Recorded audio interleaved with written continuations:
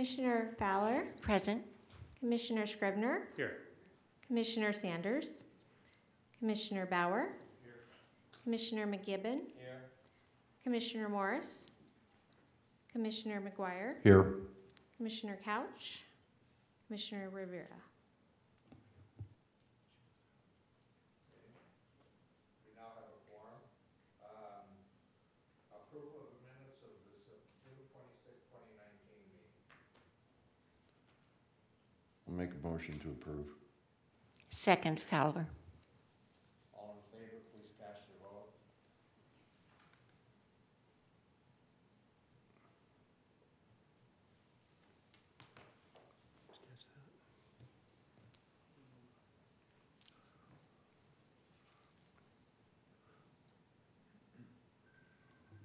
Motion approved, all ayes. We're now into the public comments um, portion of the meeting. This portion of the meeting is reserved for persons desiring to address the commission on any matter not this, not on this agenda and over which the commissioners have, has jurisdiction. Speakers are limited to two minutes. Please state your name and address for the record before making your presentation. If anyone would uh, like to uh, address the commission. If not, uh, we'll move on.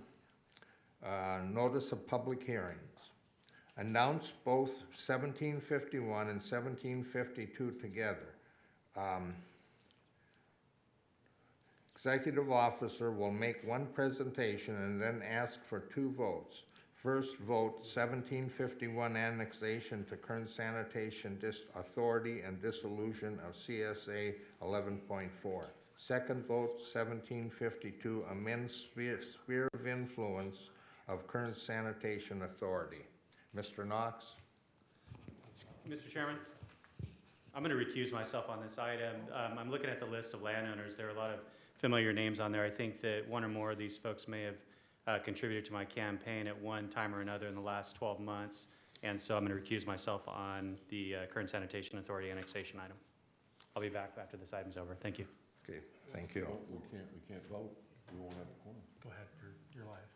Can I, uh, how do You're live. you- yeah, well, that leaves us without a quorum. Oh. We're And, not under and the it's not a uh, rule of necess, uh, it, it doesn't come under, If you think I can stay, then I will, but I'm, I'm taking your advice on that. I don't know. Okay. I, I, I'm hearing for the first time Okay. that you think there might be a potential conflict. Yeah, Yeah, well, I, I would recommend that you go with that, if that's Okay. your, your best understanding right now. okay, thank you. Yeah, there's hundreds of landowners on this, on this list, it looks Yeah. like. Okay, thank you. No, I would recommend that this should be continued, can it be continued? What's, what's the, Yes, it can. what's the results of that? I mean, are they gonna not be able to move forward as quickly as they wanted to, or? Correct. They can't move forward until uh commission makes a vote and we go through the, Yeah, yeah. the end of the process. So we'll put this on the agenda for October. Yeah. It's gonna have to do that. We just don't have a quorum without it. We have staff from City of Bakersfield here if, well, this is Kern Sanitation Authority. Um, You are the staff. You, you should, Okay. you should be leaving, uh, while we have this discussion. Okay, thanks. Yeah.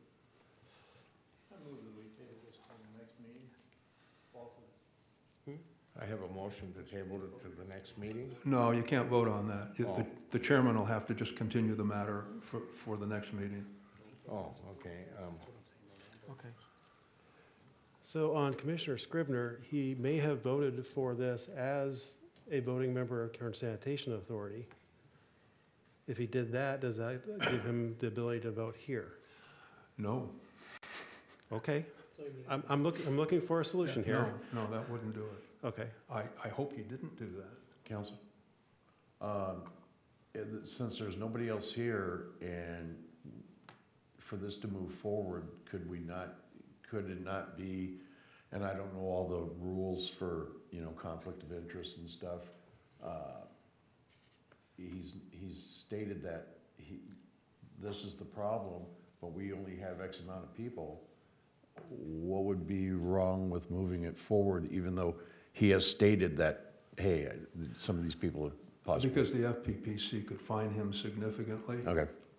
Oh, I, I, I didn't, yeah, because I know there's certain, um, situations where, uh, if somebody claims, you know, they're gonna abstain from something, uh, that they can make that vote. If, it- but, uh, Oh, the only one I can think of is if it's a 1090 violation, which it's not here. This is a Political Reform Act. And then it's a rule, and a rule of necessity can take over, and they can vote to make a quorum. But under the Political Reform Act, and, I mean, you may have something in mind that I'm not understanding, no, but I'm, I'm, it doesn't apply here. We don't have that situation here. okay, thank you. Mr. Knox, do you have anything else to, uh, Uh, I guess we would need to continue this. Uh, You don't vote to continue it because you can't vote because you don't have a quorum. But the chair, the chairman can continue the matter. So it'd be, yeah, it'd be up to the chairman to continue the matter. so is that what staff uh, recommends? uh, It is. Okay, I, uh, we will continue the matter until the October meeting. Someone may want to call uh, Su- Commissioner Scrivner back in.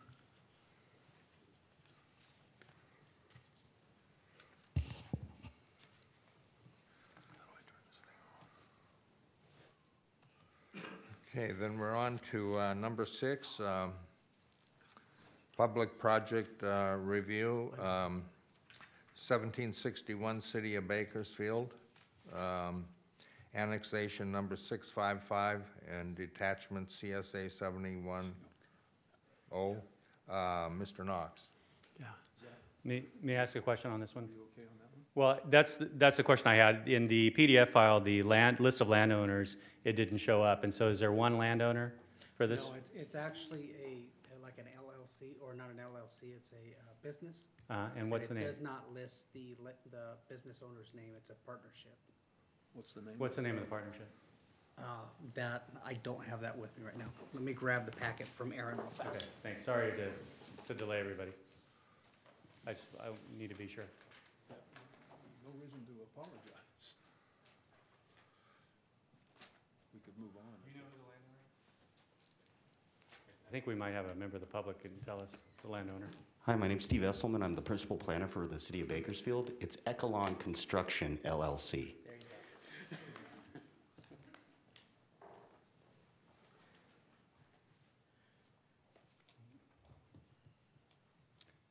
Do you, do you know who the principals are?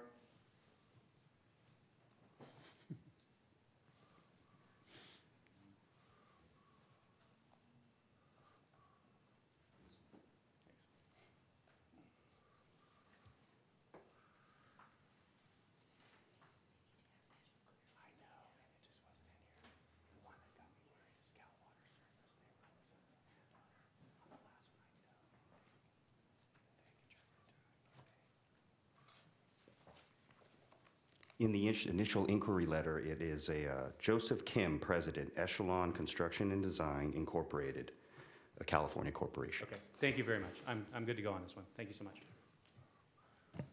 Okay, Mr. Knox, we're good to go? Yes. Uh, This proposal is to annex two properties, approximately .71 acres of land generally located on the northeast corner of Pepito Way and Cilantro Avenue, north of Shellabarger Road. I think Mr. Rice is getting a map of- of the properties. Um, This is vacant land. Um, The properties are undeveloped. The surrounding properties are large lot residential. There'll be no tax increase involved. The uh, zoning in the county is estate residential and will be- remain the same in the city. Uh, There's no ag land conversion. It's consistent with the general plan, regional transportation plan, or specific plans. It's consistent with commission policies. It conforms to the assessor's parcels. The city has uh, signed an indemnification agreement. Uh, For functional overlap, the annexation will overlap with CSA 71, therefore CSA 71 will be detached. Uh, Because these two lots face a street that was already annexed into the city of Bakersfield, most of the services are already available to these properties. There will be no uh, increase in, in water usage. Uh, there- is not a current plan for development for these properties. uh, but it will be analyzed uh, when proper, when improvements are made, and CEQA will have to be uh, adhered to. The city has adopted a notice of exemption uh, to meet the CEQA requirements. Affected and overlapping agencies and districts were notified. No comments were provided. The process required by the Cortese-Knox-Hertzberg Act has been followed, including notices to affected agencies and any notices and publications required by law. Annexation to the city has a 100% landowner, landowner consent. The city has requested that notice, hearing, and protest hearing be waived. It is my recommendation that the commission consider the environmental document, adopt by applic- by applicant, waive notice, hearing, and protest hearing, and approve annexation number 771, Pepita number one, and detach from CSA 71, and that's detachment O.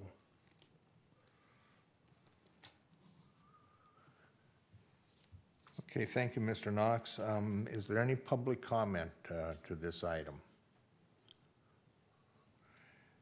If not, is there any commissioners' uh, comments or questions? Do we need to take these two separately or together? It's uh, one, it's one vote on this, for both the annexation and detachment. I move acceptance of the recommendation by staff. I'll second. Okay, please cast your votes. I have a first and a second.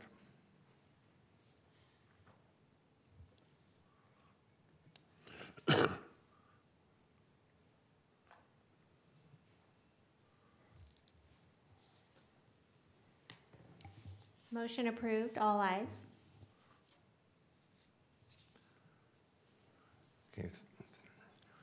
It passed, so we're moving on to the uh, uh, next item, which is commission items, and there's none.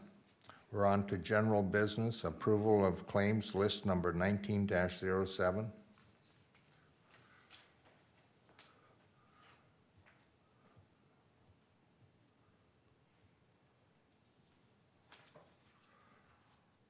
Just need a motion, Mr. Chairman. I Chairman? need a motion. Okay, motion to approve? Second. Okay, please cast your votes.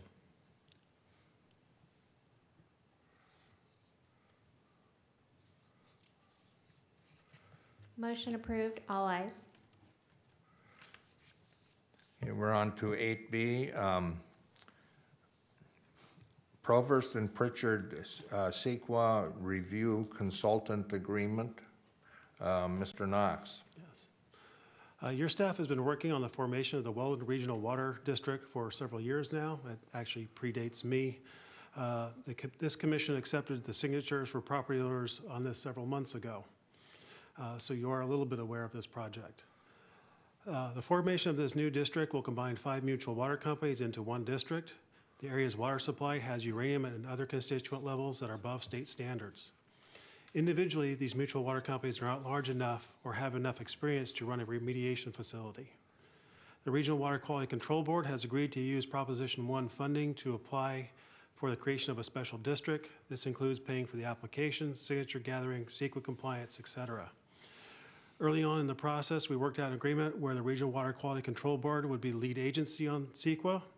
Now the CEQA document is uh, reaching uh, the end, uh, Regional Water Quality Control Board has changed their mind and wants this commission to be the lead agency.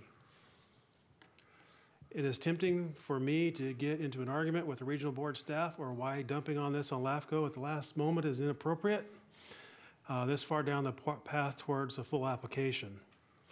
I could spend months and eat up significant amount of time and resources and will likely end up right back where we are today. My experience dealing with the Regional Water Quality Control Board is, is considerable enough that I've come to the conclusion that, that the fight will be fruitless and lead to more delays and potentially additional costs. But before accepting the role as lead agency, it's appropriate for the CEQA document to be reviewed to ensure there are no significant issues with the document that have been, that could bring legal risks to this commission. At the recommendation of Joe Hughes, who's our backup attorney and has considerable CEQA uh, experience, uh, and our experience from staff, Provost and Pritchard are have both LAFCO and CEQA experience enough to perform this task adequately. Our fee schedule allows for a $10,000 deposit for CEQA activities. I've requested this additional funding from the regional board. This will pay for the peer review of the CEQA documents and additional staff time to process the application. So we're going to make the Regional Water Quality Control Board pay for, for changing their mind. Um, So with that, um, my recommendation is approve hiring Provost and Pritchard to conduct the analysis of CEQA document for regional, Weldon Regional Water District application, not to, ex- not to exceed $10,000. Thank you, Mr. Knox. Uh, Is there any public comment to this issue? If not, do the commissioners have any comment or questions? Make a motion to approve. I have a motion. Second. And a second. Um, Please cast your votes.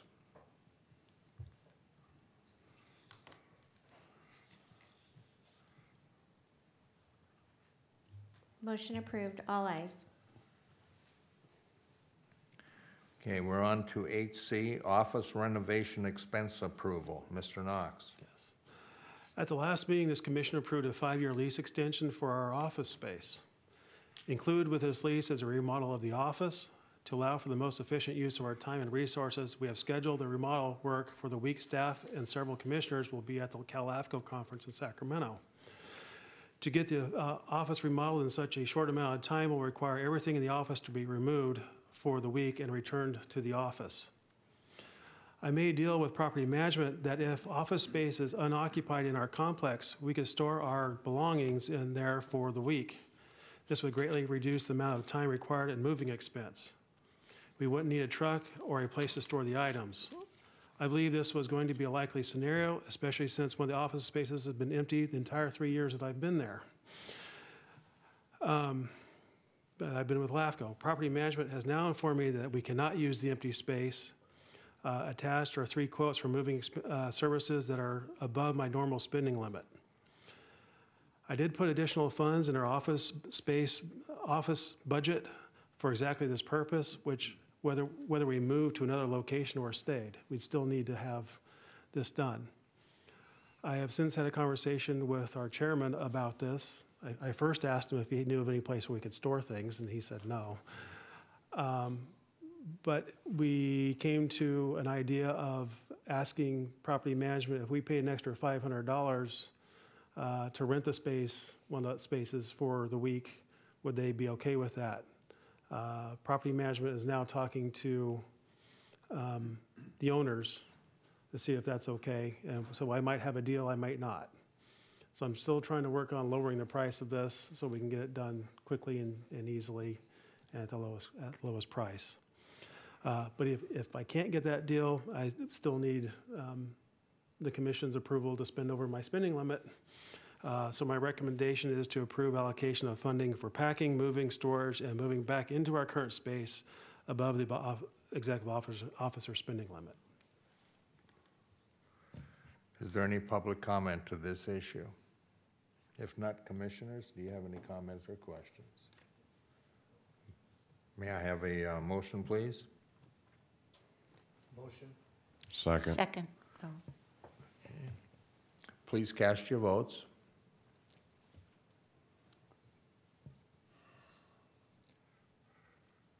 Motion approved, all ayes.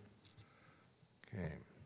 We're on to 8D, Kern Valley RCD Resolution of Application for Dissolution, dissolution.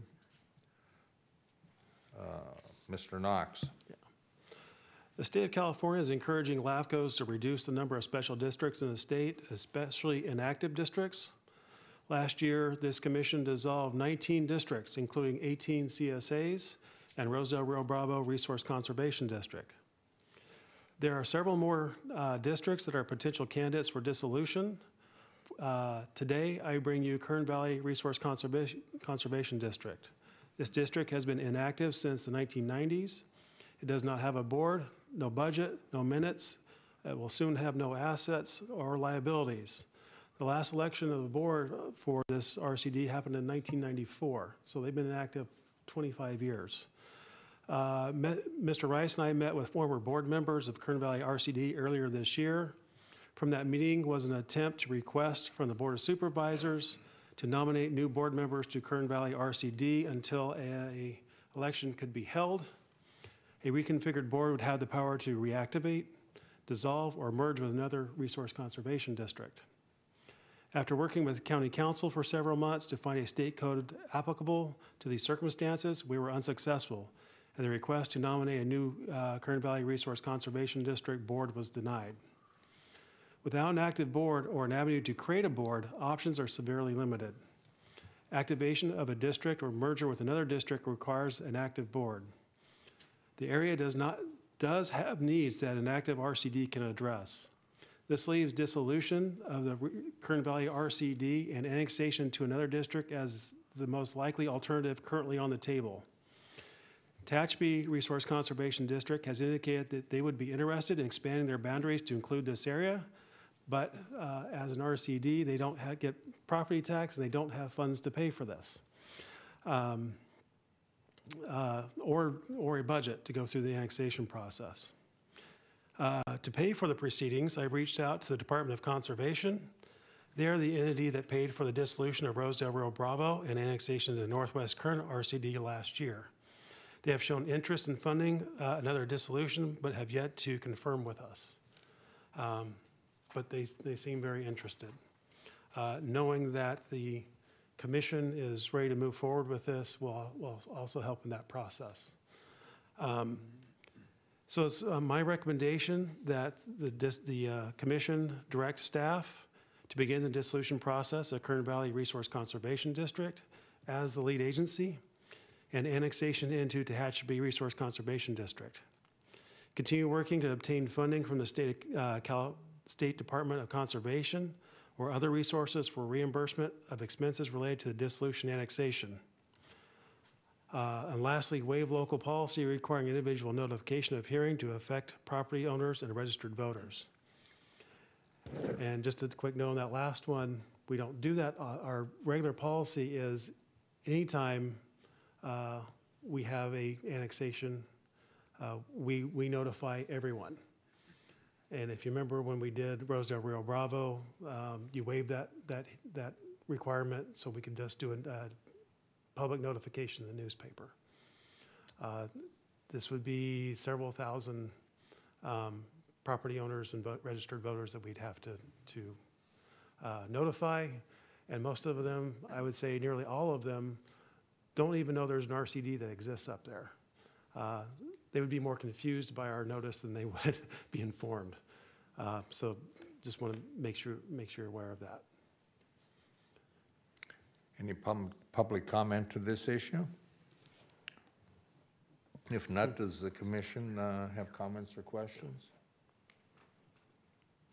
Mr. Chairman, I'm always concerned about setting pres- precedents, particularly when it comes to notification of property owners. I've forgotten that we had um, kind of dispensed with that concern once before, but I, I think it's just generally speaking bad policy. I know we don't have money for this. We're going to, if we were to do the notifications that would be typical from LAFCO, it would be a costly matter. Can you estimate what the cost of that would be?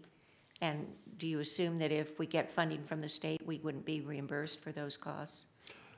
If we got money from the state, we would be reimbursed for those costs. I do not have a specific number in my head of how much the whole, we'd have to do two notifications, one for the proceeding and another for the protest hearing. Uh, So there would be at least two notifications, so you're going out to those uh, communities twice. The other interesting part of this is part of Kern Valley Resource Conservation District runs into Tulare County. We are the primary LAFCO because the majority of, of, uh, it's the tax, Yeah. uh, the majority of the, majority of assessed value is actually in Kern County. If the majority of value was in uh, Tulare County, they would be the lead, not, not us. So we're not, now gonna be doing business in Tulare County with uh, Tulare County assessors, tax collector, all of those that we normally do with Kern counties, we'll be doing with both. So there'll be additional expense with that as well. And that's part of what uh, I'm going to be going to the state for. I'm, not- I'm not willing to move forward with- with this until I have some funding in hand. But them knowing that you're ready to proceed will help them make a decision to, to um, give us the money.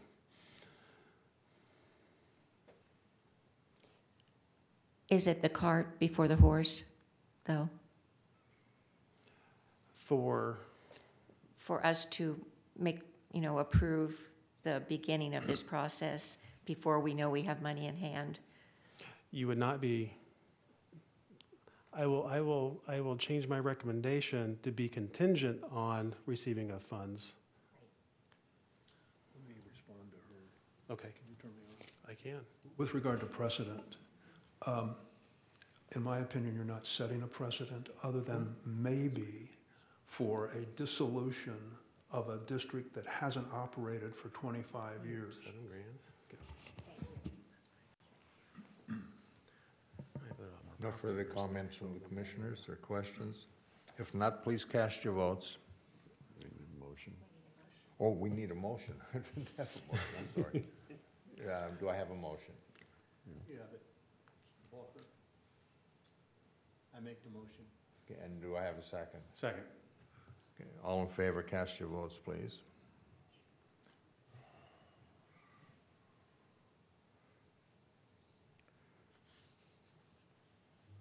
Motion approved, all ayes. Okay, we're on to um, eight uh, E, SDRMA MOU Modification and Resolution. Mr. Knox. We received the MOU and resolution from the Special District Risk Management Authority, otherwise known as SDRMA, included in the agenda packet. The MOU modifies our agreement with SDRMA to provide health insurance, changes in IRS guidelines, Affordable Care Act, and the CSAC EIA pool guidelines all require revisions to the MOU. Both Mr. Schroeder and myself looked at, looked it over and did not find any red flags, albeit neither of us profess to be experts in health insurance. Uh, is my recommendation to approve the modification uh, to the MOU with SDRMA and, and approve the resolution. Any public comment to this issue? If not, commissioners, any comment or questions? If not, I need a motion. Second. Second, Fowler. Okay, Please cast your votes.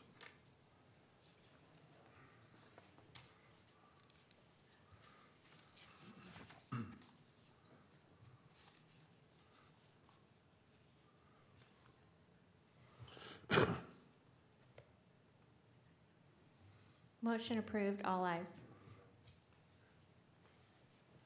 Okay, we're on to um, 8F, LAFCO Oath of Office. Mr. Knox? It has come to my attention that LAFCO commissioners are required to take an oath of office. Uh, We have not done that in my tenure. I'm not sure if it was done before mine, but we have not done it. The oath is standard for all officials within the state of California. There are several ways to prove LAFCO is in compliance. The easiest to have each of you read the oath and to provide LAFCO with a signed and dated copy.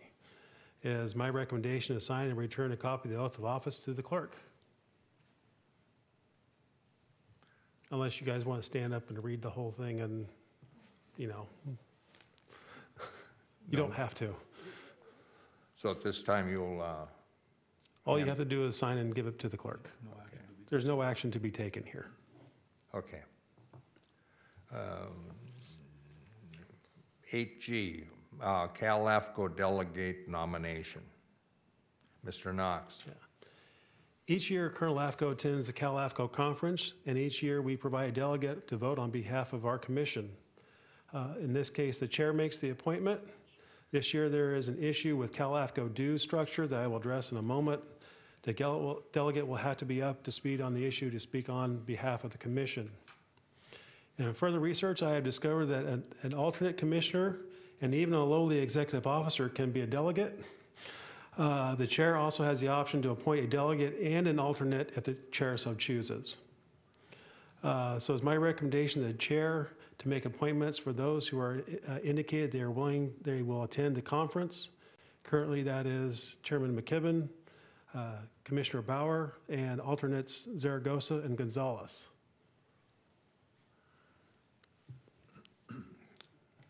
I appoint Mr. Bauer, if he uh, so wishes, to be the delegate at the uh, conference. I prefer not. Mr. Knox, would you, I, I'll defer, I'd like to be the last one to defer to, but uh, would- you said you could also? I can. I don't want to, but I can. I will. Okay. Okay. Um, We're on to um, 8H, Ca- uh, Cal AFCO dues increase. Mr. Knox. CalAFCO has been operating under a structural deficit for several years now. To address, address the problem, the CalAFCO board has recommended both a dues increase and restructure of the dues formula. Kern LAFCO has been placed in the high population category with Los Angeles, Orange, San, uh, San Diego, et cetera. This will increase our dues by over 36%.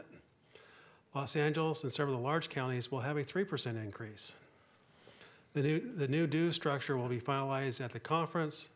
I have voiced my displeasure with the recommendation of the Cal AFCO board, but it will come down to a discussion at, at the conference and a vote. In your agenda pa- packet is a wealth of information about the process uh, being considered. Uh, Is my recommendation that the commission should discuss this issue and provide direction for the delegate to take to the uh, Cal AFCO conference. So apparently you're, you're going to tell me how you feel about this, and I will step forward and, and speak on your behalf. Do we need to convene as a uh, policy committee or something to come up with, it, or how do we, uh, I can ask the commissioners now uh, what their thoughts on it, are. Sure. okay, what would the uh, commission's thoughts be, and what would be the recommendation? uh, for Mr. the Chairman, delegate? I wonder if Bud would mind putting up that page that shows the graph with the county, the population of the county, it was in our packet, the increase percentage-wise and so on. Yeah, I don't have that You right now. don't have that with you? Yeah, it, my You have- file was corrupted, I'm sorry. You, you, ha- you have it in the paper I do packet? have it in the paper. And we can, Just and put it on Aaron the can show screen. it on the screen right there. Packet? Okay. Because that's Can you very bring up- informative. The camera that shows that space? Let me get it.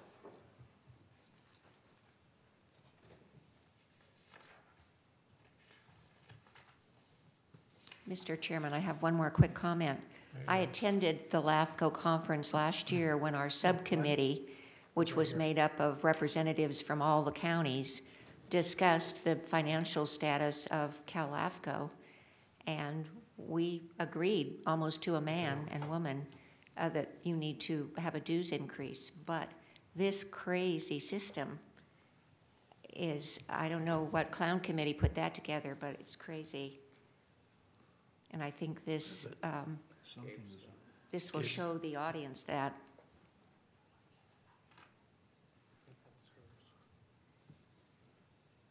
You're right. There we go.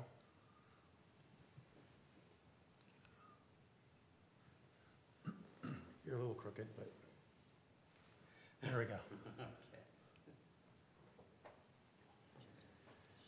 Yeah, Kern would have a, Kern has nine hundred and thirty thousand people. Los Angeles has over ten million people, so we have less than nine percent of the population of Los Angeles County, yet we're gonna be saying, paying the same dues amount. If I had a suggestion, it would be to create one more tier in the due structure that's less than those top payers, those top population counties. There's a significant difference, difference between us and Los Angeles, Orange, and San Diego counties. Um, Why not per capita?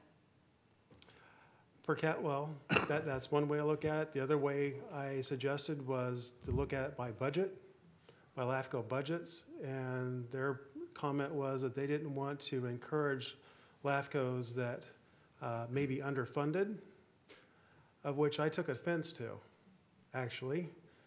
I take great pride that we get a lot done here with a very small budget. And for them to penalize us because we are efficient at what we do is an insult. And so I'm a little upset about that. Mr. Chairman?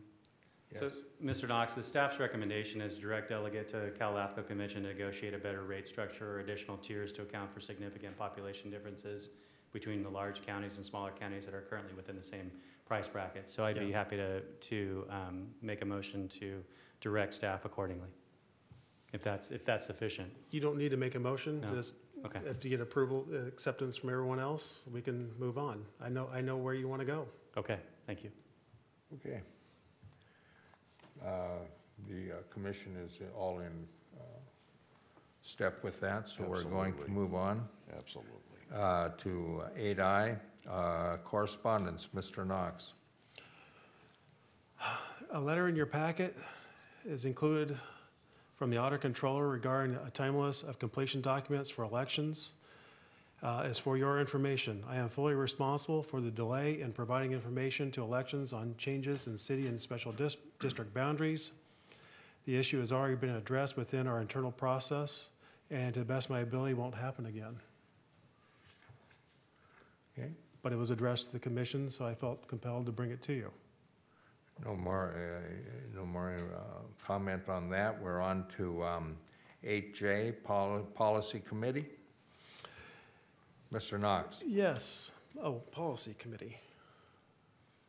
Aha, that's not on my, my notes aren't here. There we go. Hmm? I got it.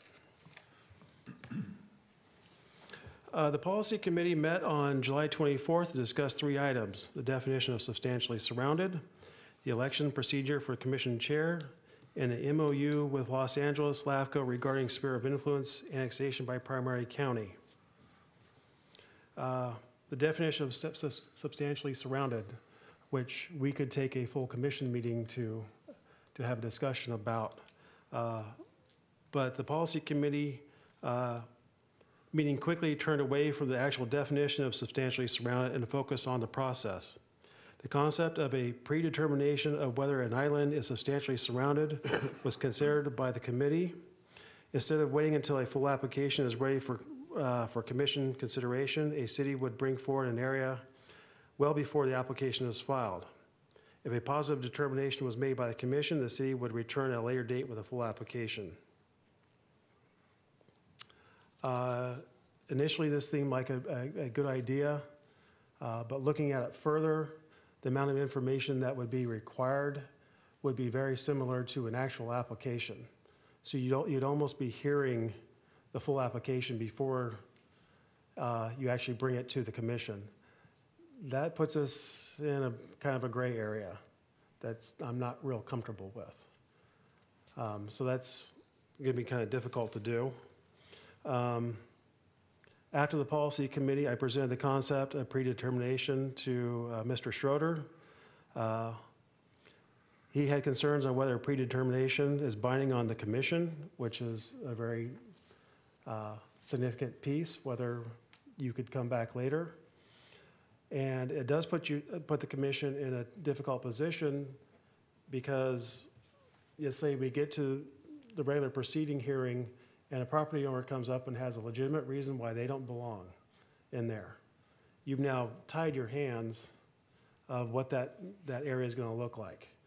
Um, So that- that, that creates another uh, difficult position uh, to, to move this forward. Um,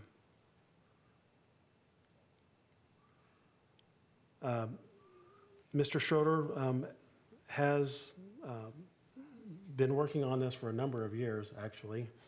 Uh, He had a hybrid approach to determine substantially surrounded, which include a finding of how surrounded an area needs to be substantially surrounded, like seventy percent, seventy-five percent, or eighty percent, that would be set.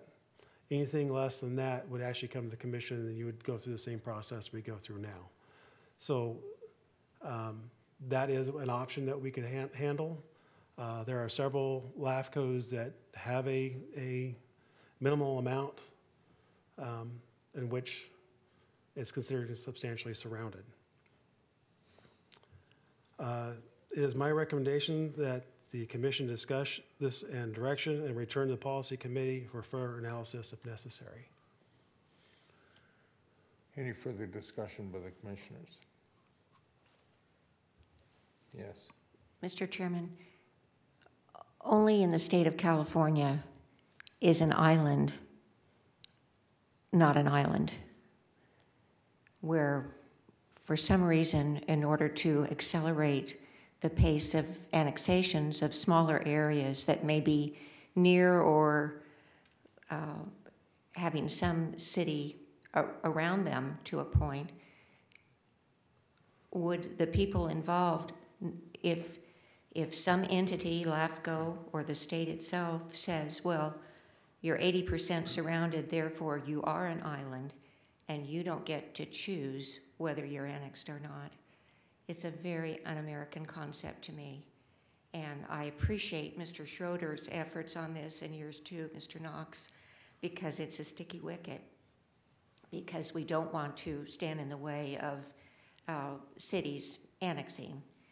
But they have the old-fashioned way of doing it, which is the one that I led the motion on tonight, 100% property owner approval. I, I think cities, Bakersfield, Arvin, Lamont, Shafter, whatever, they can sell themselves. All they need to do is get 50% plus one, and they can annex the area. But every person living within that area who's a registered voter or property owner has a say in the matter.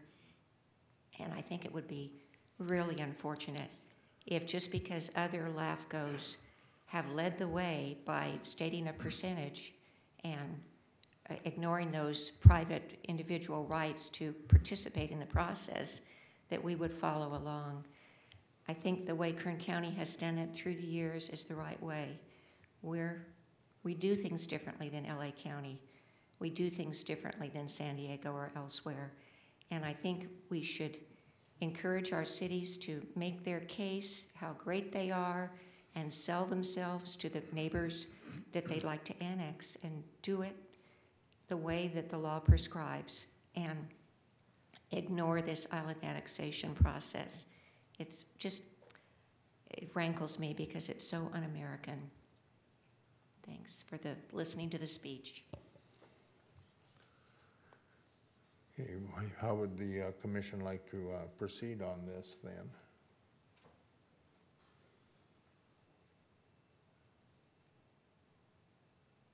Any further comments on it?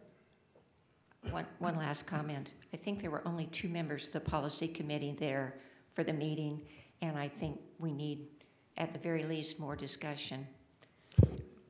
Would you like to refer it back to the policy committee for another try? Commissioner Valley, thank you. I was just going to ask what, what, uh, how many members were there and how, how robust the discussion was. And so I think referring it back with a full um, complement of the policy committee would be a good idea, if that's um, okay with the rest of the group. Thank you. I have my direction, thank you. Okay. Um, I've got two more items of. Okay, go ahead, of Mr. the pol- Knox. pol- Of the policy committee. One is election of the commission chair. Chairman M- McKibben made a referral to the policy committee to consider modifying the policy for the election of the commission chair. The commission has elected the chair based on a rotation between the county, city, special districts, and public commissioners. There is not specific language in the current LAFCO procedures, standards, and policies for the election of the chair. The rotation of the chair has been a tradition of the commission, but not, not an actual policy.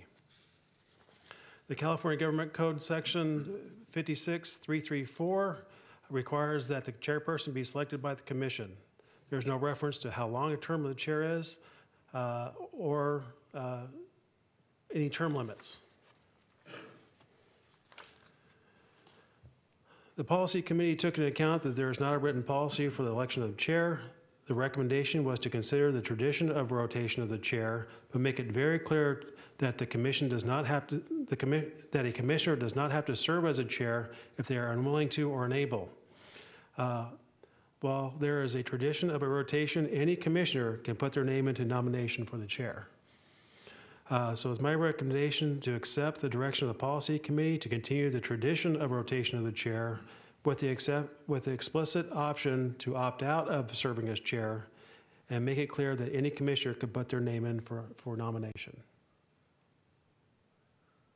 Okay, Any further comment by the commission? Okay, if not, Mr. Knox? You said you had another item? I do. It's an MOU with, the- with Los Angeles County LAFCO regarding sphere of influence annexations. So we have several districts that cross over county lines that go between um, Kern County, in this case, Los Angeles County. We have other ones that cross over into Tulare County, which we saw earlier tonight, and some, some that go into Santa Barbara and San Luis Obispo. So this happens quite often. Um, When a district is expanding, and as we talked about earlier, it, when a district is in multiple counties, the county that has the most assessed value, they're the ones who are lead for that district. Uh, So for instance, uh, um, Antelope Valley, East Kern, uh, Water, they're not a district, they're a agency, uh, is in both Los Angeles and in Kern County, but Los Angeles, the assessed value is greater in Los Angeles County, so they are the lead. If AVEK, Antelope Valley, East Kern, uh, wants to annex more property in Kern County, they'd actually go through Los Angeles LAFCO to do it. In doing that, they'd also have to increase their sphere. This MOU would allow our LAFCO to, to hear and approve the sphere change in our area while continuing to let um, Los Angeles uh, do the, the annexation portion of it. So we would still get a say. It also works in reverse. Right now, I'm working on a annexation of a district that's going to be moving into Los Angeles County for the first time. Uh, Although we've agreed to keep this one off, keep this one off the board, uh, not included in this MOU, um, it would allow Los Angeles to say, yeah, we agree this should be moved in, you know, the, the sphere of influence should change, but still allow Kern LAFCO to be the lead agency and handle the annexation. So it works both ways. It's, there's not an advantage from one to the other, but it gives both LAFCOs a say when, when it affects their, their area. So I think it's actually a, a very good MOU. Los Angeles has a, has two MOUs now, one with Orange County, and I think the other one was uh, San Bernardino County. And both of them have worked well for them so far. So is my recommendation that uh, you direct me to work out a, a reasonable MOU and bring it back to you when it's complete with, with Los Angeles LAFCO. Any further uh, comments on it? Just one. Uh, just, just one, it, I'm, uh, I'm in favor of moving forward with this. I don't, I don't see any issues, but I would request, Mr. Knox, that you, um, that you give, uh, some notice to our county planning director, Lorelei Oviatt, as far as what it is that you are talking to LA County about, just in case there, um, she might have some thoughts on it. I'm sure she will. Yes, thank you.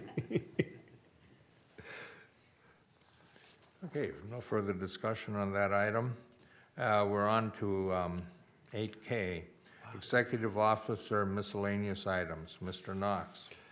Yes, we are currently going through an audit for the 2018, 2019 year, since we finished up in June.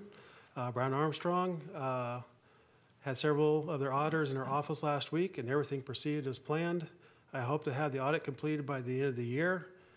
But I've been hoping each year of the last three years, I've yet to see a final audit brought to the commission before March. So I may be a little uh, encouraged, but I'm, I think we might get there this year. Um, As I've been executive officer, one of the things I've tried to do is uh, technology upgrades to our office and how we do our processes. Uh, It's one of the areas I focused on to bring more accuracy to our process, more backup of critical data, and more efficient use of data and staff time. Uh, It has seemed very odd to me that one of our main functions at LAFCO is the making and modification of maps. Yet we have not had the equipment to properly make and scan a map until now. I would like to thank the city of Taft for selling LAFCO a large format scanner and a large format printer. Um, As surplus equipment, they sold both of them to us for fifty dollars apiece. I, I printed one map. Um, which is up here on the table that you can see that kind of things we can, we can do. So take a look after the meeting's over. And Bud is going to put up a map that we scanned on the screen, hopefully, uh, so you can see what kind of scanning capability we have. Uh, That map was scanned at 400 dots per inch. We can go up to 9,600 dots per inch, which is 24 times more dots than what you have there. Uh, So my estimate is we have almost 1,800 proceedings. Most of those proceedings have two or three maps in it. So we're looking at a good 3,000 or more maps that we need to scan. uh, So we have an archive of them. Um, If something happened to our office now, they would be all gone. We wouldn't have a backup for those. So this is important to us to get this done. Oh, I should also point out that um, brand new, the scanner and printer were over $13,000. So we made a heck of a deal. And just like any printer, I've already spent more on print cartridges and print drivers than uh, the cost of the printer. So that's not, that's not anything new. Um, Also, to make sure it works, um, I donated a computer that I had at home uh, to, to run those. So but you got an extra computer out of it for free. I'm getting to that. Uh,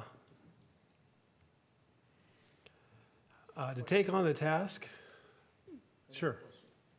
Uh, Are these maps going to be moved into this spare office? Okay.